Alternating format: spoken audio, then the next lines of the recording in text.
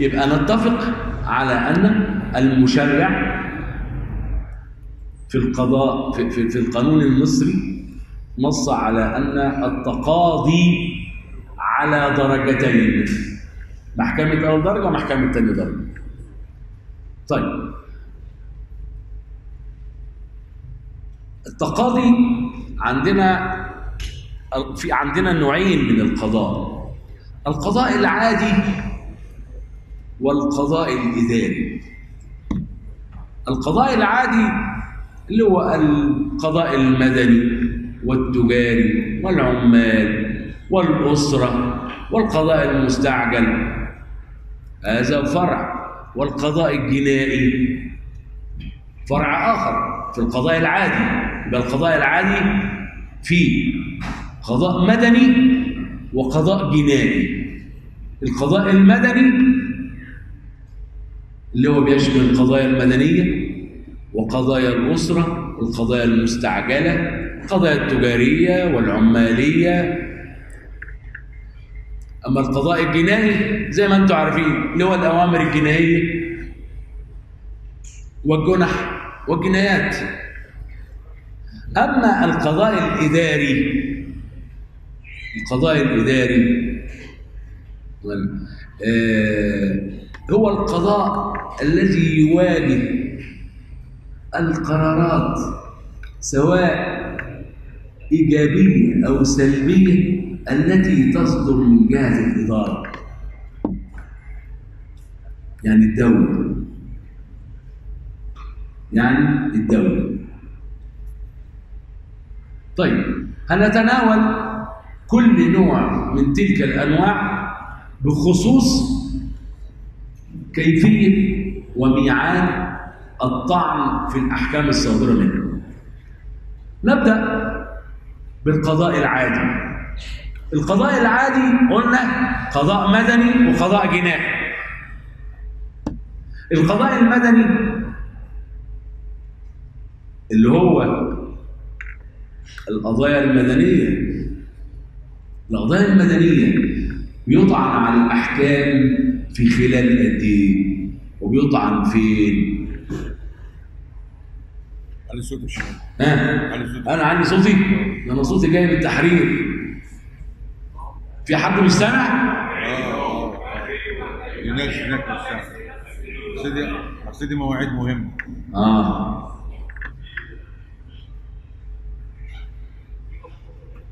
يعني لما نيجي نقول مثلا أن المحاكم الجزئية. بنستأنف الأحكام الصادرة منها أمام المحكمة الابتدائية بدوائر استئنافية. في خلال أربعين يوم. طيب نفترض إن الحكم غيابي. غيابي يعني إيه؟ غيابي يعني إيه؟ يعني المدعى عليه ما هو لو المدعي ما حضرش. القضية تتشطب المدعى عليه ما حضرش؟ ولا جلسة من الجلسات في الدعوة. أو كان بيحضر وانقطع سير الخصومة ولم يحضر بعد تعجيل الخصومة من الانقطاع. عشان كده قلت لكم خلي بالكم الكلام ده هنحتاجه في المحاضرة. يبقى إمتى يكون الحكم غيابي؟ إذا لم يحضر المدعى عليه أي جلسة من الجلسات وكمان لم يحضر أمام الخبراء إذا كانت القضية راحت خبراء ولم يتقدم باي مذكرات. يبقى غير يبقى الحكم هنا غيابي. أو أو كمان يعني نمرة اثنين لم يحضر في الجلسات بعد تعجيل الدعوة من الانقطاع. تعجيل الدعوة من الانقطاع. لو ما حضرش أي جلسة إيه اللي يحصل؟ هيبقى الحكم غيابي برضه. طيب ميعاد استئناف الحكم الغيابي قد إيه؟ 40 يوم برضه. بس من إمتى؟ من تاريخ الإعلان. خلي بالكم الإعلان الصحيح. المهم بقى. الإعلان الصحيح لمين؟ للمحكوم عليه فين؟ في موطنه. يعني النهارده في ناس معاها أحكام وبتعمل إعلانات ومش قادرة تاخد صيغه تنفيذيه عشان تنفذ الحكم. ليه؟ علشان بيعلن في جهة الإدارة. يعني في هناك فرق بين إعلان صحيفة الدعوة وإعلان الحكم يمكن بإعلان صحيفة الدعوة في جهة الإدارة تنعقد الخصومة. تنعقد الخصومة. جملة اعتراضية. متى تنعقد الخصومة؟ تن... ليه؟ ده أنا شرحتها لك عشر مرات. هناك فرق بين متى تبدأ الخصومة؟ ومتى تنعقد الخصومة؟ تبدأ الخصومة من تاريخ إيداع صحيفة الدعوة قلم كتاب المحكمة. طب إحنا هنطلب الحاجة تقولها تاني انعقاد الخصومة دي بعد إذنك. حاضر. أستاذ أنا بعد إذنك بقى. حاضر. يا أستاذ يا أستاذ أنت حضرتك فاهم؟ إحنا عايزين كلنا نفهم. يبقى تبدأ الخصومة وتبدأ الخصومة إمتى؟ أنا بقول مهم جدا. نسمع لأنه هو في برضو في قانون وفي حاجات مهمة. تبدأ الخصومة من تاريخ إيداع صحيفة الدعوة من تاريخ إيداع صحيفة الدعوة قلم كتاب المحكمة. أما تنعقد الخصومة تاريخ. من تاريخ الإعلان الصحيح. شوف بقى؟ ممكن نغلط فيه. في هنا بقى ركزوا. في هنا استثناء. في هنا استثناء. إيه هو الاستثناء؟ في القضايا في قضايا الإخلاء للتكرار. يعني أنت لما بترفع دعوة إخلاء لعدم سداد الأجرة. وثبت بالفعل أن المستأجر كان متاخرا في سداد مبلغ كذا وقام بسداده. المحكمة تحكم برفض الدعوة. ولكن يعتبر هذا الحكم سابقة في حقه. سابقة. فإذا تأخر مرة أخرى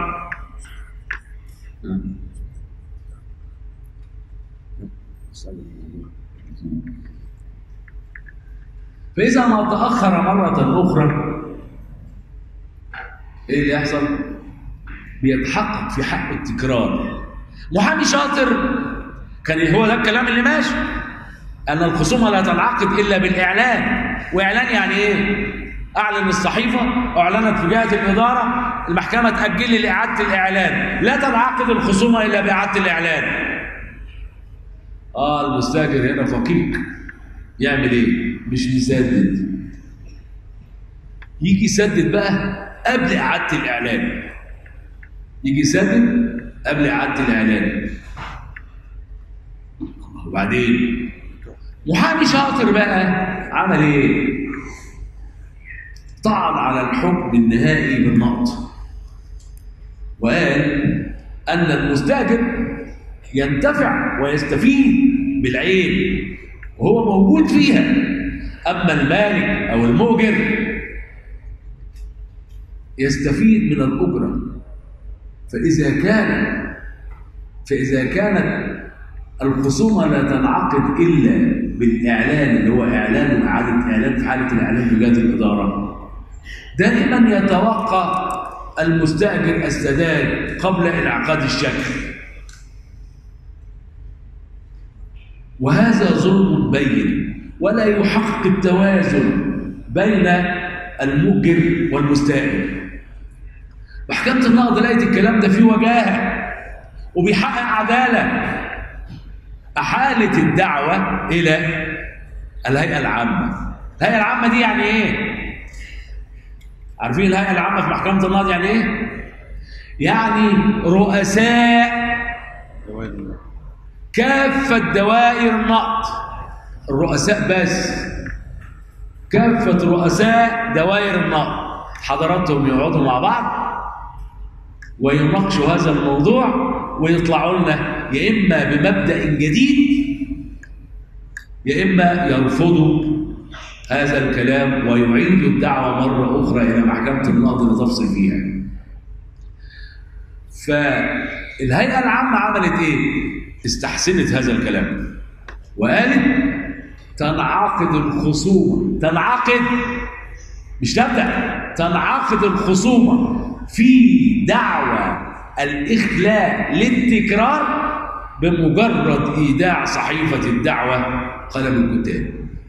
يعني وحدت بين بداية الخصومة وانعقادها. ما اشترطتش لانعقاد الخصومة الإعلان في هذه الدعوة. يبقى عرفنا الاستثناء. دعوة الإخلاء للتكرار. لتكرار عدم سداد الأجرة. يبقى القاعدة أن الخصومة تبدأ تبدأ بمجرد إيداع صحيفة الدعوة قلم الكتاب وتنعقد بالإعلان الصحيح.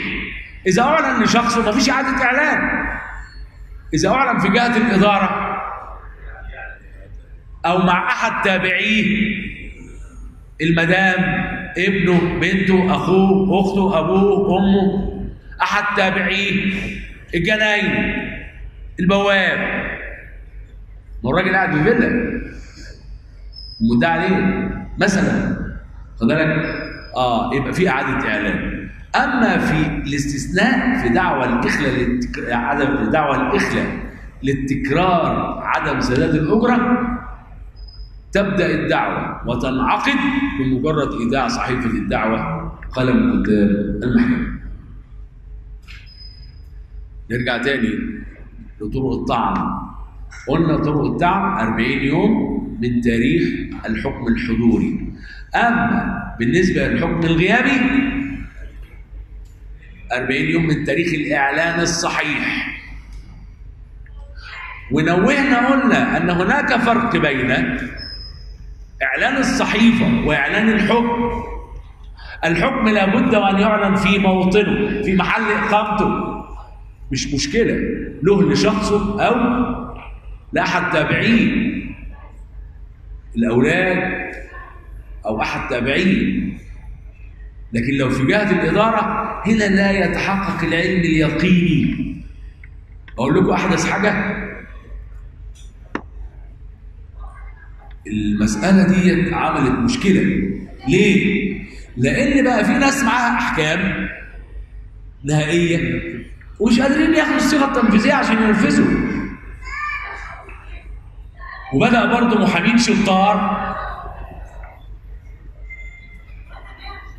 لو سمحت لو سمحتوا الصوت الصوت لو تكرمتوا. فبدأ برضه محامين شطار يتكلموا في الحكاية دي محكمه النظر دي قالت لابد من العلم اليقيني فإذا ما كان الإعلان تم في جهة الإدارة والإعلان في جهة الإدارة ده بيعقبه إيه؟ اختار في خلال 24 ساعة وفق المادة 11 من قانون المرافعات فإذا كان المعلن إليه تسلم الإخطار يبقى بقى في علم يقين. اثبت الكلام ده. احكام النظر دي إذا أثبت أنه علم طب ما هو علم لما بعت له الاختار واستلمه من ساعي البريد خد بالك يبقى عالم علما يقينيا يبقى ليه اعلان صحيح. كل يوم في جديد. علشان كده إحنا بنقول لحضراتكم لابد من الاطلاع الدائم لأن كل يوم فيه جديد. طيب يبقى إحنا دلوقتي قلنا أن الطعن بالاستئناف في خلال 40 يوم من تاريخ الحكم الحضوري أو 40 يوم من تاريخ الاعلان إعلان الحكم إعلانا صحيحا. طب بستأنف فين؟ الدعوة بتاعتي كانت قدام محكمة جزئية بستأنفها فين؟ قدام محكمة كلية. طيب الدعوة بتاعتي صدر حكم فيها من المحكمه الكليه بستأنفها فين؟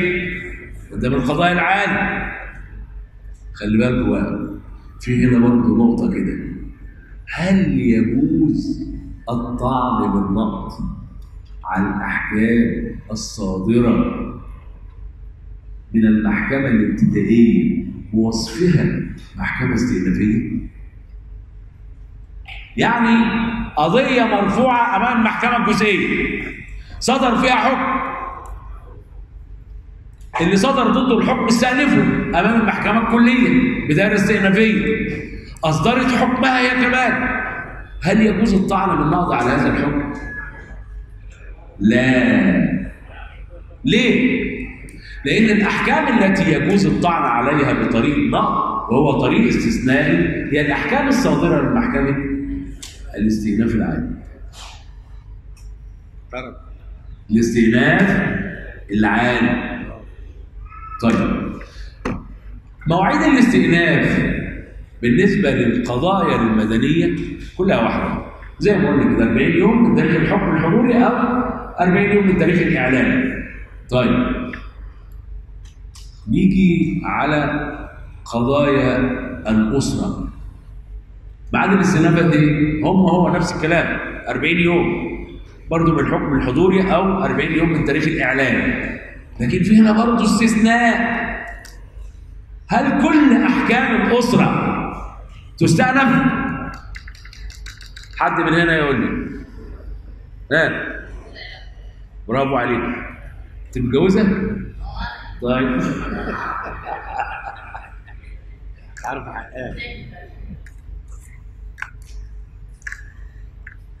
حكم الخلع لا يجوز استئنافه. بس ركزوا معايا. والأحكام الصادرة من المحكمة الجزئية التي تقل عن 5000 جنيه أحكام انتهائية لا يجوز استئنافها. طب وبعدين الأحكام الانتهائية الانتهائية. يعني اللي المحكمة الجزئية بتحكم فيها بصفة انتهائية لا يجوز استئنافها وحكم الخلع في الأسرة لا يجوز استئنافه طب قدر الأحكام دي مش صحيحة طبقا للقانون.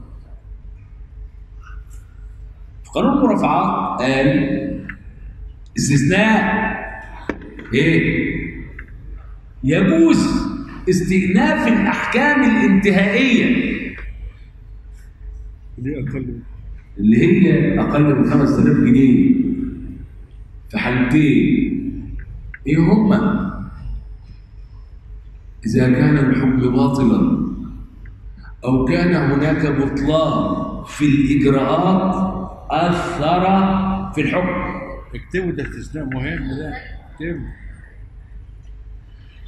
يبقى إذا الأحكام الانتهائية أو الأحكام التي لا يجوز استئنافها يمكن استئنافها آه بس في حالتين.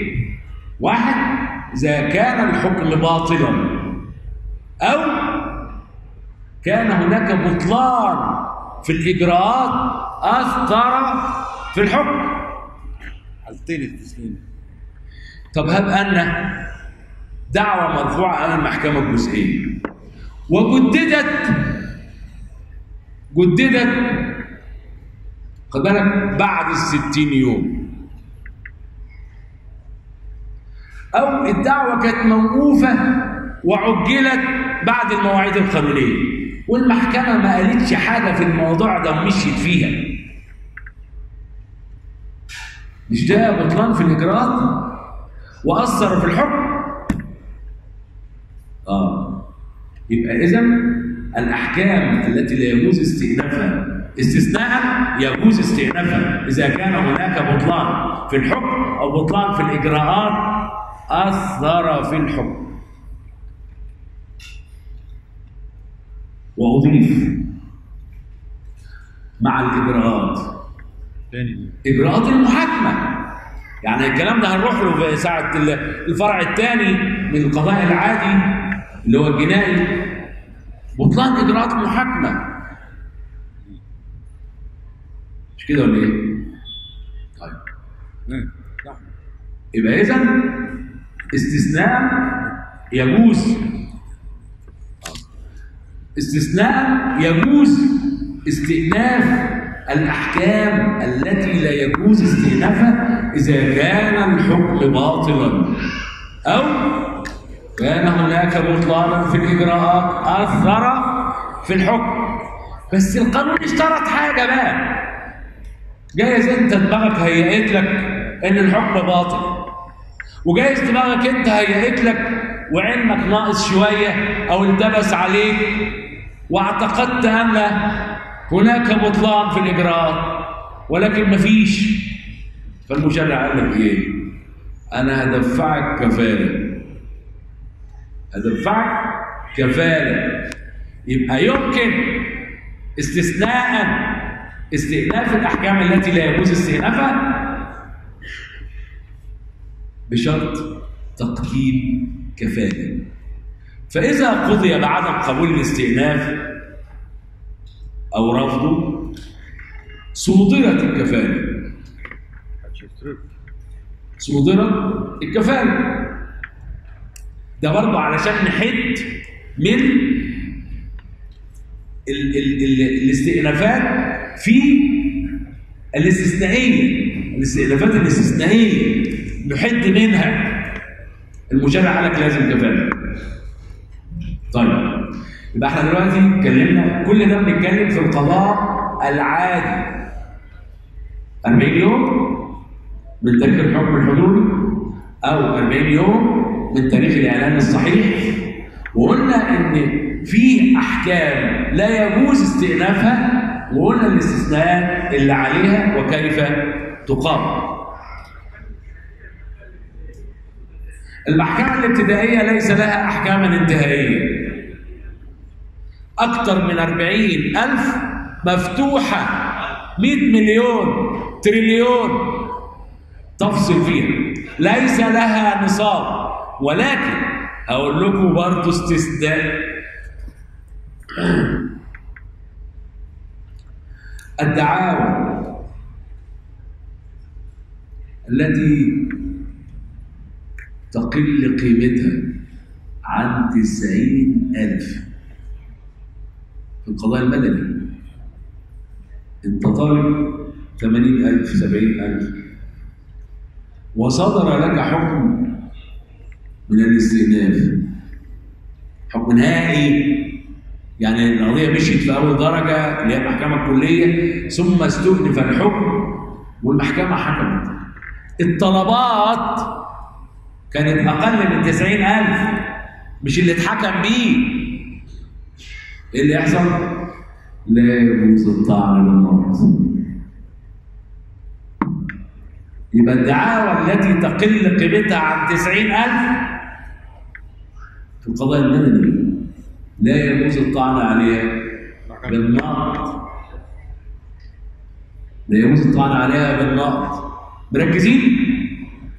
ولا أقول تاني؟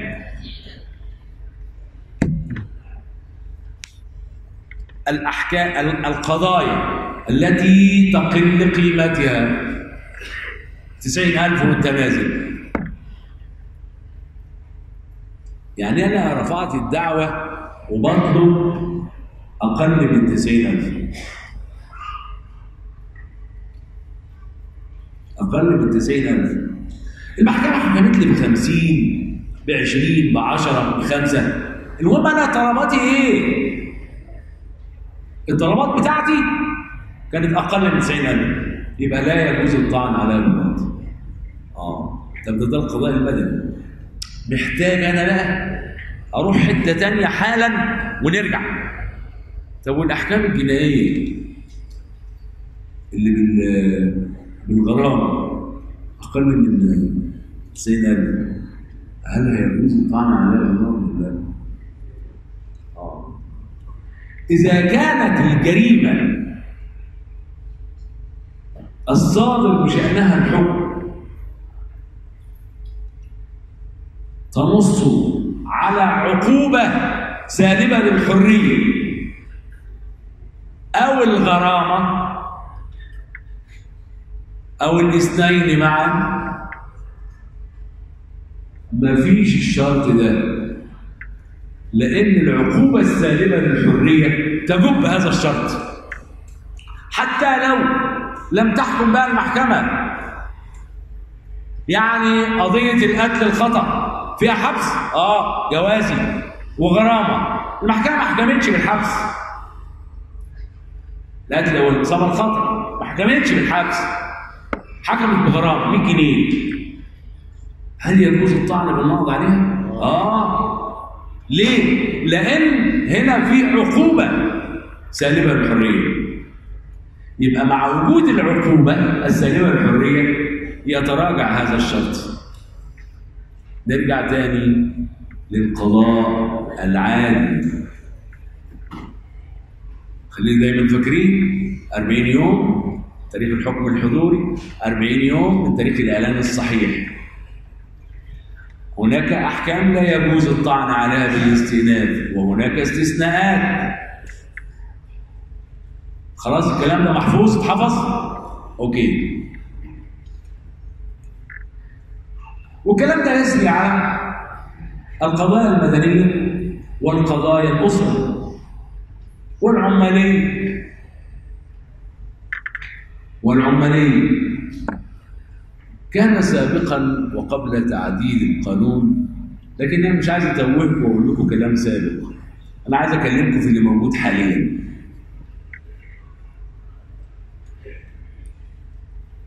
اقعدي يا أستاذة. اقعدي طيب بالنسبة للقضاء المستعجل القضاء المستعجل.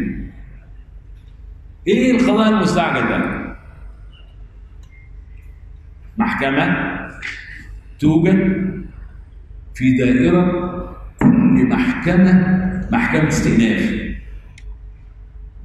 محكمة قضاء مستعجل أو دائرة قضاء مستعجل بتبقى موجودة في دائرة كل محكمة استئناف. يعني محكمة استئناف القاهرة اللي هي بتشمل محاكم القاهرة والجيزة ها؟ لها محكمة قضاء مستعجل اللي في عابدين اللي في عابدين. ربما في بعض دوائر الاستئناف الأخرى بتبقى محكمة القضاء المستعجل دايرة ضمن الدوائر الموجودة في المحكمة. ملهاش محكمة لوحدها زي القاهرة. إيه محكمة القضاء المستعجل دي؟ هي المحكمة التي تختص بالقضايا ذات الطلبات المستعجلة. ذات الطلبات المستعجلة. وعلشان كده عشان هي مستعجلة بتفصل في الدعاوى من ظاهر الأوراق. لا تتعمق في الموضوع. ولا يجوز لقاضيها أن يتفحص في الأوراق أو يقيم تحقيق. لا. بيحكم في الدعوة من ظاهر الأوراق. طيب يعني هنسيبه كده الراجل ده من ظاهر الورق يقول لنا كلمتين وأحكام وحكم مستعجل ويطبق لا. ليها أحكام استئناف. ليها أحكام استئناف. الأحكام الصادرة من المحاكم المستعجلة تستأنف أمام محكمة القضاء المستعجل المستأنفه أو مستأنف القضاء المستعجل طب بتستأنف في خلال قد إيه؟ كم؟ برافو عليك برافو عليك يبقى الأحكام المستعجلة تستأنف أمام دوائر استئناف القضاء المستعجل في خلال 15 يوم من تاريخ أه من تاريخ رفع الدعوة. ده القضية خدت ثلاث أشهر ست أشهر. حكم يا عم حكم خلي بالكم بقى خلي بالكم خلي بالكم ها خلي بالكم الأحكام الصادرة من محاكم. لا. الأحكام الصادرة من محكمة القضاء المستعجل تستأنف في خلال 15 يوم. ما قلناش بقى الحضوري والغيابي. لأن القضاء المستعجل ما فيهوش إعادة إعلان. ما فيهوش إعادة إعلان. طب أقول لكم سر. أقول لكم سر يعني. خلي بالكم من كل الكلام اللي بنقوله النهارده والكلام اللي هيتقال فيما بعد الكلام ده هيكون موضع امتحان. وزي ما قال الأستاذ حسين هنعمل الامتحانات مختلفة. لأن الدورة اللي فاتت الامتحانات اتسربت فاضطرينا نغيرها. يعني حاجة ظهر في مصر جميلة. حتى امتحانات معهد المحاماة؟ معلش. هنعمل امتحانات لكل نقابه لوحدها. مختلفة عن الآخرين. وعندنا المادة العلمية كتيرة. نقدر نحط 20 30 امتحان. فركزوا في اللي بنقوله علشان الكلام ده كله هيبقى موضع امتحانات. وإحنا الهدف مش قصة امتحان. الهدف أنا عايز أخليك تهتم وتعرف الإجراءات وتعرف المعلومات القانونية بشكل صحيح لأن ده هينفعك تماما في عملك. جملة اعتراضية؟ لازم تبقى محامي محترم. لازم تبقى محامي شاطر. ده مهنة حرة. والمهنة الحرة عايزاك أول حاجة الهانم تلبس تغيير كويس في حشمة. مش بنطلون مقطع. لا. عيب. هذا لا يليق بمهنة المحاماة. أنا شفت ده ومنعت الحقيقة بنتنا اللي شفتها. قلت لها لا ما ينفعش. هات القضية محضرها وعلشان أنا لما أشوفك لأول مرة. اوعي تيجي كده تاني. انت شغالة مع مين؟ جبت المحامي اللي شغالة معاه عنفته بقى. هي جايز ما عنفتهاش قوي لأن إيه ربما لم ينصحها أو يضع لها القواعد الزميل الأكبر التي تعمل بمنتهى يبقى أول حاجة عندك عنوانك زيك الانطباع الأول. الانطباع الأول يا اليوم اثنين الأمانة. اوعى تاخد وصل الامانه بتاع الراجل تبيعه. لا لا ما حدش يجيلك تاني. الالتزام لازم تروح المحكمة بدري عشان القضية ما تشطبش لازم تروح مكتبك في مواعيد عشان الموكلين ما يقعدوش ينتظروك كتير ويتضايقوا. ما تقعدش تحكي مع الموكل. ما تخليش الموكل صاحبك. هياكل عليك فلوسك. لا. صاحبي وصاحبك بره المكتب. لا أنا بؤدي عمل باخد عليه أتعاب ورغم إن العمل بتاعنا لا يقدر بأتعاب إحنا عملنا شهر. عملنا بدني وذهني بننام نحلم. حتى في أوقات راحتنا يهرع إلينا من لديهم المشاكل من أجل أن يتخففوا هم منها ويحملوها لك ورغم ذلك تكون راضيا لأنها رسالة. لأنها رسالة. العلم. العلم. دايما راجع. دايما اقرا اسأل اللي أكبر منك. أنا شفت محامين صغيرين ما شاء الله. بنات وصبيان ما شاء الله. عندهم معلومات غزيرة. ولديهم القدره على المرافعة بطلاقة. يملكوا زمام اللغة. آه ما فيش حاجة بتيجي لوحدها. مفيش حاجة بتيجي. لوحدها. فعلشان تبقى محامي شاطر وناجح لازم اللي قلنا ده الزي ما تروحش المحكمة ببنطلون وقميص لا. لأن الموظف هيتعامل معاك إزاي؟ خد بالك لازم تخلي فرق بينك وبينه. أنا الأستاذ.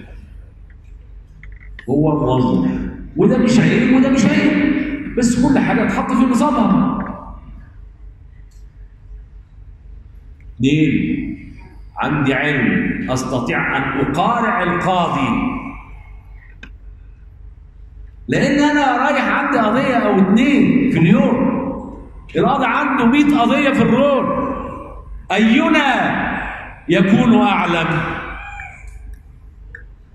أنا قاعد مذاكر قضيتي وقاري القانون وقاري أحكام النقض وسألت زمايلي وعملت كل حاجة وكمان أنا قابض فلوس. عايز أكسب القضية علشان يقولوا كسب القضية والناس تجيلي وكمان أحس ضميريا بأن أنا جبت حق لصاحبي أو منعت ظلم عن حد. القاضي كما لو كان موظفا. لديه صحيح هو منوط به تحقيق العدالة. ولكن القانون بل الدستور. قال في الماده 98 أنك شريك له في تحقيق العدالة وسيادة القانون. ولكن افرض لك أنت وحدك. الدفاع عن حقوق المواطنين وحرياتهم لم يجعل ذلك للقاضي ولكن جعله للمحامي لأن المحاماة رسالة. دي كانت جملة اعتراضية. قلنا نصها اتنين طب أنت نجحت مهنيا ومذاكر وعندك التزام وعندك أمان وعندك صدق وبتكسب قضاياك حافظ على صفتك كمحامي أوعى تخسرها. زي ما قال الاستاذ حسين في بداية المحاضرة. سدد اشتراكك في اول السنة. لا تقترف أي عمل مشين يهينك في صفتك أو يقلل من شأن نقابتك. الماده 98 في قانون المحاماة؟ تقول الكلام ده. وألا تخالف قانون المحاماة ولا لائحه النقابه صحيح يا أستاذ حسين. أذهب فيما لكم من حقوق. وعشان هو دايما خير ما اتكلمش قوي في, في بعض ال... الالتزامات. ما حبش في البداية يعني. لا. أنا مش عايز لما يبقى عندك مشكلة في المحكمة أو في النيابة أو في الاسم إلا أن تكون صاحب حق. تبقى صاحب حق مش نروح نلاقيك انت غلطان. ورايح عشان عارف إن نقابتك بتقف في ظهرك. رايح تكلم الضابط بشكل معين. انت رايح لواحد بيته. تكلمه بشكل معين استفزازي والى اخره لا لا بتكلم القاضي إزاي؟ بتكلم وكيل النيابة إزاي؟ لا. وجب إحنا مهنه المحاماه مهنه محترمة. ورسالة يجب على روادها ألا يقلوا عن ذلك أبدا. ويكونوا دائما أصحاب الحق. نعود إلى طرق الطاعة. اللي متضايق من الكلام اللي حاسس إن الكلام فيه أي حاجة مش عاجباه لو عايز يتفضل يتفضل. اللي حس انه بيستفيد وإن الكلام هو بيستفيد منه أهلا وسهلا بيه. وإحنا معاكم ولو حبيتوا نقعد لبكرة حتى. لا بكرة إيه؟ ده مثلا. هذا استثناء. اشمعنى في استثناءات في القانون؟ آه طيب. الفرع الثاني من القضاء العادي القضاء الجنائي. القضاء. ما أنا عملت كده. قلت 15 يوم من تاريخ الحكم. وليس هنا حضوريا أو غيابيا. ليس هنا حضوريا أو غيابيا. يبقى الأحكام الصادرة من محكمة القضاء المستعجل تستأنف أمام محكمة القضاء المستعجل المستأنفة في خلال 15 يوم من تاريخ الحكم. نعم. احكام إيه؟ إيه الأحكام التنفيذيه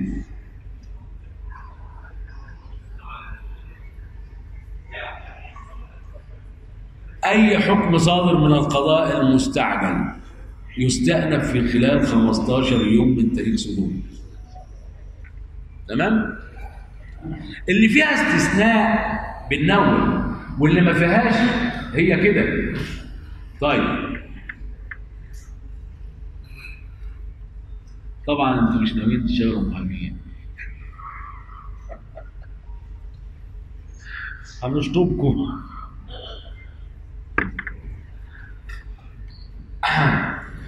الفرع الثاني من القضاء العادي هو القضاء الجنائي. القضاء الجنائي في أوامر جنائية وجنح وجنايات. الأوامر الجنائية نوعين. الأوامر الجنائية الصادرة من النيابة يمكن الطعن عليها بالمعارضة أمام القاضي الجزئي. هنا تعتبر جنحة خلاص خدت سكة الجنحة أما الأوامر الجنائية الصادرة من القاضي فرقوا. الأوامر الجنائية الصادرة من النيابة يطعن عليها بالمعارضة أمام القاضي الجزئي. ولما يصدر منه حكم يستأنف. أما الأوامر الجنائية الصادرة من القاضي لا يطعن عليها بالمعارضة وإنما بالاستئناف. وكمان الاستئناف الطعن بالاستئناف له شكل بتتقدم بطلب للنيابة الكلية. تتقدم بطلب للنيابة الكلية. طيب. دي الأوامر الجنائية. أما الجنح تستأنف في خلال عشرة أيام. من تاريخ إيه؟ هناك في المستعجل ما قلناش إلا من تاريخ الحكم وسكتنا. هنا بقى في الجناح في الجنح ميعاد الاستئناف إمتى؟ 10 أيام من تاريخ أو إيه تاني؟ لا 10 أيام من تاريخ الحكم أو من تاريخ الحكم باعتبار المعارضة كأن لم تكن. يعني كان عندك حكم غيابي ورحت عملت فيه معارضة وما حضرتش الجلسه المحكمة بتدي إيه؟ اعتبار المعارضة كان لم تكن أو أنت حضرت في المعارضة أو حضرت في القضية من الأول وصدر حكم. يبقى اذا ميعاد استئناف الجنحة 10 أيام من تاريخ صدور الحكم أو من تاريخ اعتبار المعارضة كان لم تكن تمام؟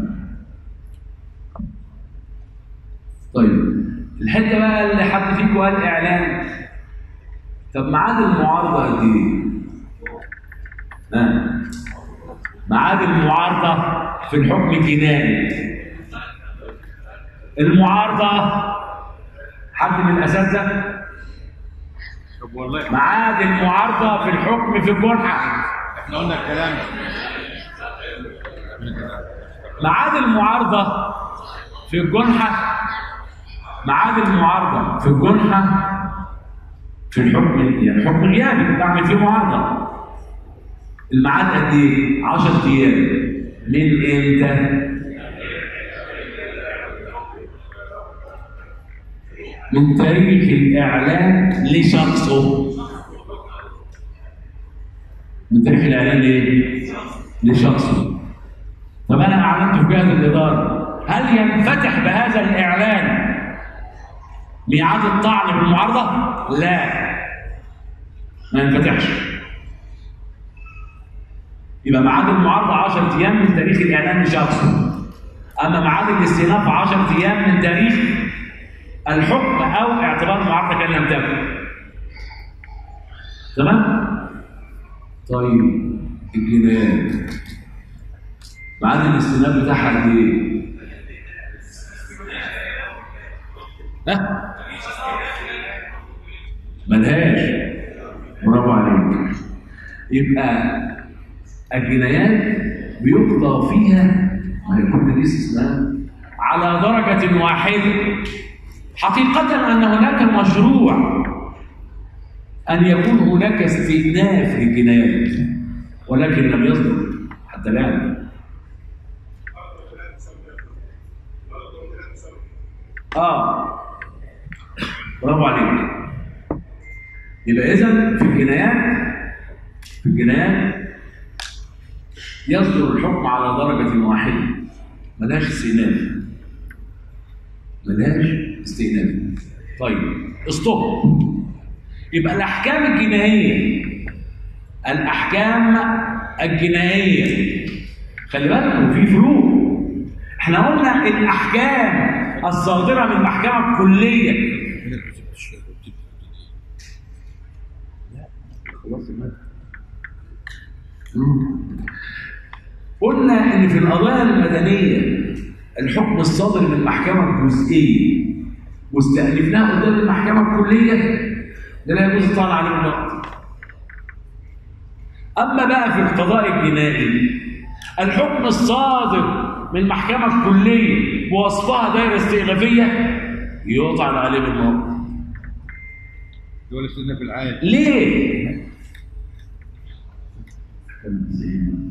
الأحكام الجنائية في جنح جنح مستأنف دي مش محكمة كلية.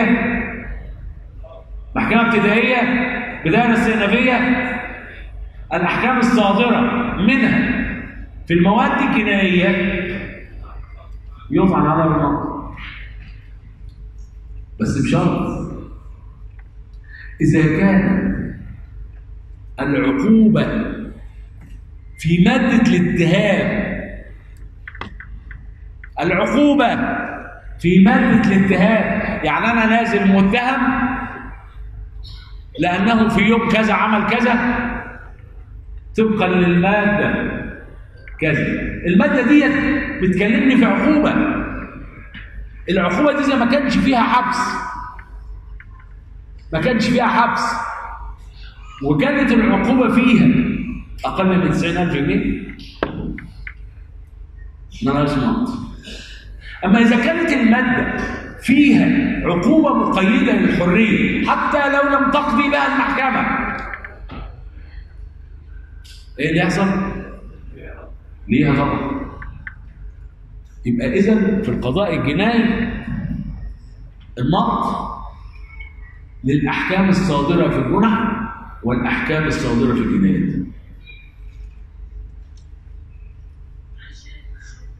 نعم. الشرط حاضر إحنا قلنا القاعدة العامة القاعدة العامة إن الأحكام التي قضت في دعاوى قيمتها أقل من 90000 جنيه لا الطعن عليها النقد فلما نيجي نطبق الكلام ده على الجنائي إذا كانت مادة الاتهام مادة الاتهام مش الحكم اللي صدر مادة الاتهام. لا تقرر عقوبة.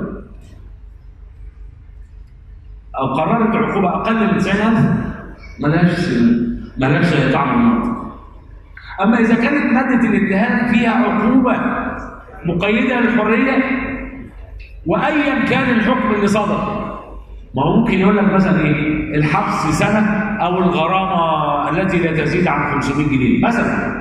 فجه القاضي قال لك إيه؟ لا تزيد عن 500 جنيه ولا تقل عن 200 جنيه، حكم ب 300 جنيه. وما حكمش بحبس. ينفع نقد؟ آه ينفع. وضربت لكم مثل زي قضية القتل أو الإصابة الخطا طيب يبقى إذا في الجنائي الأحكام الصادرة من محكمه الجنح المستأنفه يطعن عليها بالنار والاحكام الصادره من محكمه الجنايات يطعن عليها بالنار نعم.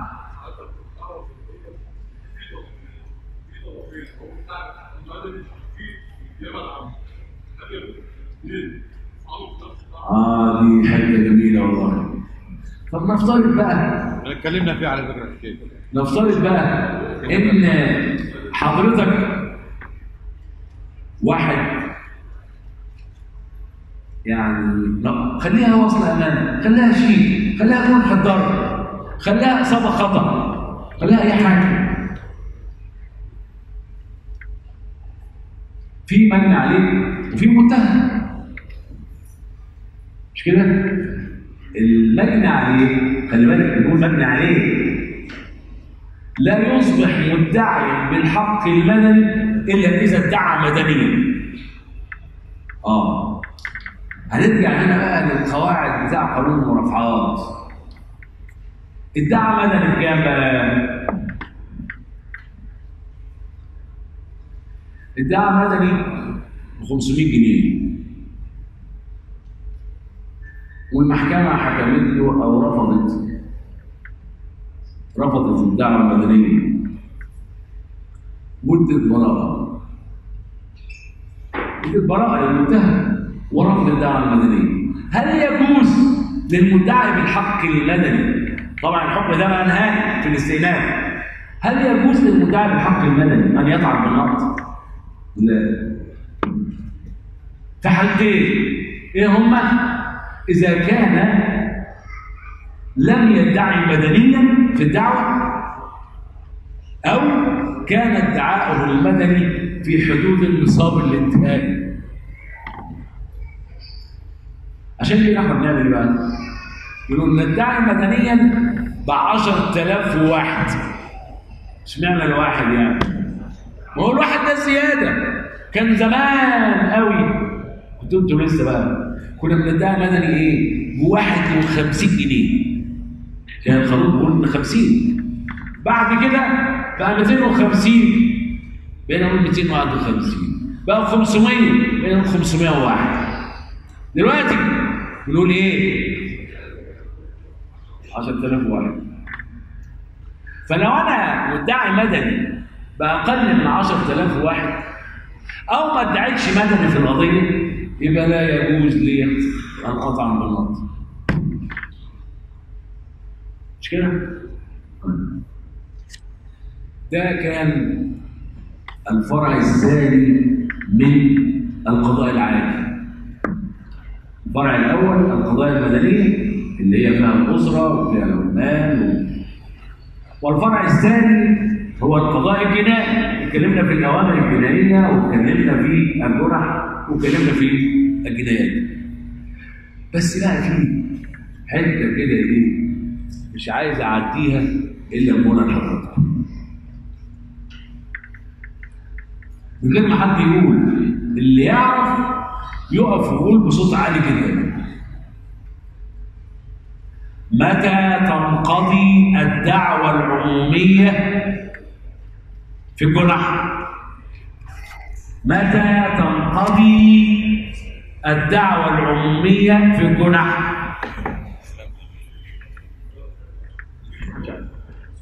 على فكرة. طيب بعد اذنك بعد اذنك إحنا اتكلمنا في الموضوع ده. بيساعد واتكلمنا في القضاء الدعوة الجنائية في الجنح في المخالفات في الجنايات في سقوط العقوبة اتكلمنا في أكثر من محاضرة أكثر من محاضرة. ومش هنتكلم فيه تاني. مش هنتكلم فيه تاني. لأن واضح كده إن آه، ده إحنا اتكلمنا فيه مش فيه. ده إحنا بقينا نتكلم فيه العقوبة بتنقضي في الجنحة ثلاث سنين. والإجراء اللي بيقع على التقاضي إيه وقلنا إن العقوبة بتنقضي مش ثلاث سنين بس من تاريخ آخر إجراء في الدعوة. وقلنا ال- ال- اللي هي أسباب انقضاء الدعوة. وقلنا أسباب انقطاع الخصومة الدعوة. تسقط إمتى وتنتهي إمتى؟ وقلنا كمان بالنسبة لسقوط العقوبة خمس سنين في الجناية. وقلنا في الجرح سنة. وقلنا في الجناية كان سنه كده وقلنا في استثناء في الحكم الغيابي مش هنتكلم فيه تاني. ومش محاضر هيتكلم فيه تاني. لأن واضح دي أساس. أنا ساعتها قلت دي أساسيات اللي هنشتغل عليها. اللي هتبدأ إنت تشتغل فيها كمحامي ابتدائي. هو ده اللي هقول لك. وضربنا امثله واحد يجي يقول لك ابني مقبوض عليه وتروح تحط ال- الاسم تنفيذ تلاقي يقول لك عليه حكم. وعلى الحكم ده بقى له قد إيه؟ هل هو عقوبة ولا هو دعوة؟ كل الكلام ده إحنا قلناه. مش هنقول ده بعد إذن حضرتك. ليه؟ بعد إذن حضرتك. مرور الكرام. لا يا بعد إذن حضرتك. النبي بعد إذن حضرتك. عشان بعد إذن حضرتك. يا بيه وجع عندنا وجع مش بعد إذن حضرتك. كمل في اللي أنت هتتكلم. لكن مش هنتكلم في حاجة دي اللي قلناه مش هنتكلم فيه والله ما هيحصل ولا هيحصل اتفضل يا بيه اتفضل يا بيه اتفضل يا بيه اتفضل اتفضل أنتوا عارفين يا بيه في أنتوا فاهمين كويس. في ناس فاهمة كويس جدا. جدا جدا جدا. وعارفة إجراء صح 100 100 وفي ناس بتيجي عشان تمشي. ملهاش علاقة بحاجة. بعد اذنك اتفضل يا بيه اتفضل. يا بيه اتفضل. ال- الفرع ال- الراجع بقى. اتفضل يا أستاذ اتفضل. يا أستاذ اتفضل. عايز إيه؟ ما نيجي بقى قبل المحاضره لا لا في الآخر هنقول اللي عنده اسئله اللي بيسال سؤال يبقى نستأذن حسين بيهم جو يا أستاذ. حاضر حاضر حاضر. المحاضرة اللي قبل الامتحان ما خلاص يا أستاذ. المحاضرة اللي قبل الامتحان هنعمل كل حاجة. حاضر. لا مش هنغششهم. مش هنغششهم كمل. كمل كمل. اتفضل كمل بقى في الدعوة المدنية. كمل في الدعوة كمل في الدعوة المدنية أستاذ. أستاذ كمل في الدعوة المدنية يا أستاذ. شرحنا شرحنا طرق الطعن كل كلمة في القضاء المدني. خلاص يا. خلاص يا استاذه استاذه يا أستاذ. أنت مش كلام معرفي كلامنا خلاص يا أستاذ. المفروض ال- القضاء المدني. برنامج للدراسة. القضاء المدني اللي بيتقال خلاص اتعرف. طرق. بعدين بيتحايل عليكم طرق الطعن في القضاء. أنا أستاذ فاهم كنت عرفت اللي اتقال إيه. إيه بس إيه اتفضل. اتفضل يا بيه اتفضل. شرحنا طرق الطعن في القضاء المدني وشرحنا طرق الطعن في القضاء الجنائي يبقى لدينا طرق في القسم الثاني من القضاء المصري وهو القضاء قضاء مجلس الدولة. مجلس الدولة. مش إحنا قلنا في البداية أن القضاء نوعين قضاء عادي وقضاء إداري. القضاء العادي قلنا القضاء المدني والقضاء الجنائي وقلنا القضاء المدني جواه قضاء الأسرة والعمال والتجاري والمستعجل وقلنا في القضاء الجنائي في الأوامر الجنائية وفي الجنح وفي الجنايات يبقى يبقى لدينا إيه؟ القضاء الإداري وهنا القضاء الإداري هو القضاء الذي يواجه القرارات التي تصدر من الدولة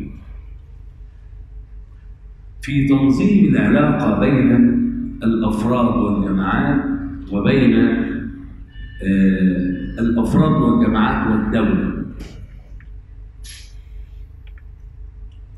طيب. القضاء الإداري فيه ثلاث محاكم في ثلاث أنواع من المحاكم المحكمة الإدارية. المحكمة الإدارية. ومحكمة القضاء الإداري. ومحكمة المحكمة الإدارية العليا. طبعا النهارده مش مش محاضرة الاختصاص في الاختصاص لكن القضايا التي تختص بها المحاكم الإدارية. المحاكم الإدارية. الأحكام الصادرة من المحاكم الإدارية. هل تستأنف؟ بتستأنف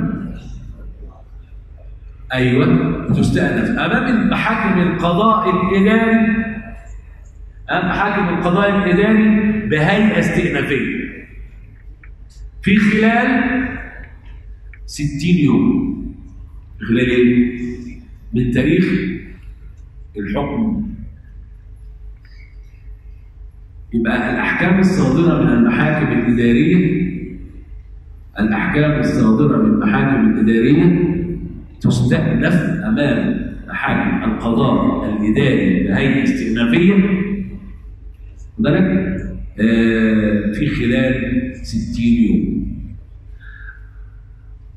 أما الأحكام الصادرة من محاكم القضاء الإداري بصفتها محكمة أول درجة ما هي؟ المحاكم الإدارية دي زي المحاكم الجزئية في القضاء المدني والمحاكم القضاء الإداري دي زي محاكم ابتدائية. الابتدائية. ومح... وطبعا محكمة ال... ال- الإدارية العليا بتناظر محكمة النقد. طب الأحكام الصادرة من محكمة القضاء الإداري يطعن عليها في أمام الإدارية العليا. في خلال 60 يوم. طيب الأحكام الصادرة من محكمة القضاء الإداري بصفتها محكمة استئنافية. هل يجوز الطعن عليه أمام الإدارية العليا؟ إحنا هناك في المدني قلنا الأحكام الصادرة. الأحكام المدنية الصادرة من محاكم الكلية المحاكم الكلية بصفاتها دوائر استئنافية في المدني لا يطعن عليها بالنار بس في الجناية قلنا الأحكام الصادرة من محاكم الابتدائية بصفاتها دوائر استئنافية بيطعن عليها بالنار هنا بقى هل الأحكام الصادرة من محكمة القضاء الإداري بوصفها محكمة تاني درجة يجوز الطعن عليها أمام الإداري العليا؟ لا ولكن فيه استثناء. استثناء. إيه هو الاستثناء؟ نعم.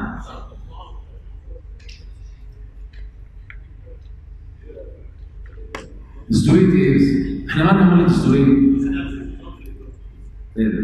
لا. لا. دي بقى مش الاستثناء بتاعها. مش بطلان في الحكم ولا بطلان في الإجرام. لا. الأحكام الصادرة من محاكم القضاء الإداري بوصفها محكمة تاني درجة. لا يجوز الطعن عليها أمام الإدارية العليا. إلا من إلا من من هيئة مفوضي الدولة. هيئه مفوضي الدولة. وبس لا. بهدف الوصول إلى قاعدة أو مبدأ قانوني جديد. يبقى الأحكام الصادرة من محكمة القضاء الإداري بوصفها محكمة ثاني درجة لا يطعن لا يجوز الطعن عليها. أمام الاداريه العليا واستثناء يجوز لهيئة مفوضي الدولة. مش القضية أول ما بتترفع هناك. تروح للمفوضين وبيكتبوا فيها مذكرة. طيب. إلا من هيئة مفوضي الدولة بهدف الوصول إلى مبدأ قانوني جديد. نعم.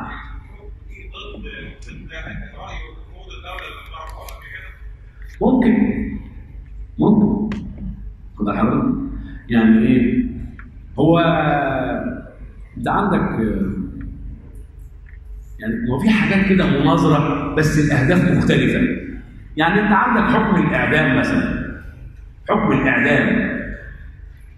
إذا لم يطعن المتهم عليه بالنار قامت نيابة النقد نيابة النقض بالطعن عليه. امام محكمه النقض كل حاجة ليها زي ما تقول إيه يعني هدف. وأكيد الهدف سامي.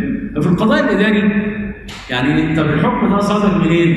صادر من محكمه محكمة القضاء الإداري بهيئة استئنافية، يعني نظرته المحكمة الجزئية، يعني محكمة إدارية للصحة، محكمة إدارية لوزارة الخارجية، محكمة إدارية للداخلية، محكمة إدارية للتعليم. اصدرت حكم لا مش عاجبني الحكم استأنفته أمام القضاء الاداري، القضاء الاداري ادى حكم هيئة مفوضي الدولة شايفة إن الحكم ده غير صحيح وهو لا يجوز الطعن عليه من أصحابه. فلصالح العدالة ولصالح تنظيم العلاقات بين الناس أو بين ال- ال- الأفراد والدولة القانون سمح لها بأنها تعمل على هذا الحكم طعن أمام الإدارية العليا بهدف الوصول إلى مبدا قانوني جديد. ولكن ده مش قاعدة. يعني إيه؟ يعني مش معنى كده إن المحكمه الإدارية العليا هتدي مبدا قانوني جديد. بتفحص بقى هي كمان وتشوف هل هيئه مفوض الدولة كانت محقة ولا ليست محقة.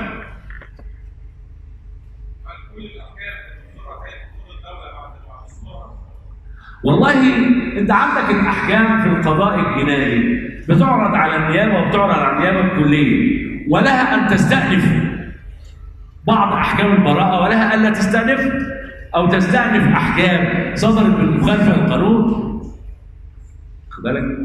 طيب يبقى مش لازم تطعن على كل الاحكام تطعن على الاحكام التي ترى فيها أنها يمكن أن تصل إلى مبدا قانوني جديد عندنا فرع تاني في القضاء الإداري. اللي هو إيه؟ القضاء التأديبي للمحاكم التأديبية. المحاكم دي بتأدب مين؟ الموظفين. موظفين الدولة. موظفين الدولة. بيحالوا إلى المحكمة التأديبية ولكن المحكمة التأديبية لا تعطي أحكاما سالبة للحرية إنما تعطي أحكاما بالخصم أو بالتنزيل درجة أو بإنهاء خدمته.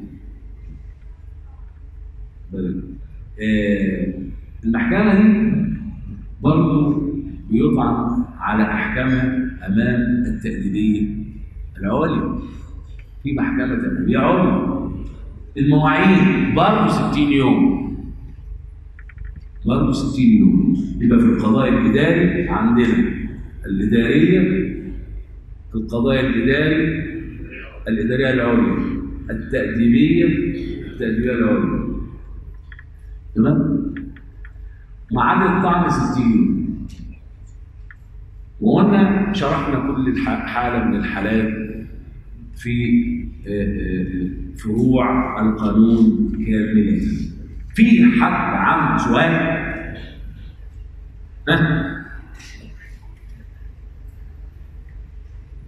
أشكركم على حسن الاستماع. والسلام عليكم ورحمة الله وبركاته.